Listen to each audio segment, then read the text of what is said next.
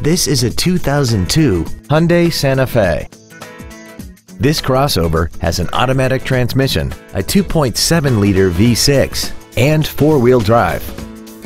Features include air conditioning, a split folding rear seat, cruise control, a CD player, a leather-wrapped steering wheel, fog lamps, roof rails, front multi-stage airbags, heated side view mirrors, and aluminum wheels.